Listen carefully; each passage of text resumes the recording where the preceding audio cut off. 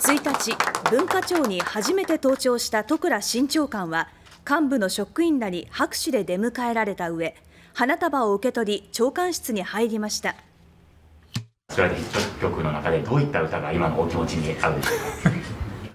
詩人だったらすぐ出てくるんだけどね。作曲家だからあんまりフレーズが出てこない。コロナ禍でねこういうお役に就くっていうことで、えー、非常にあの緊張っていうかね身の引き締まる思いですね。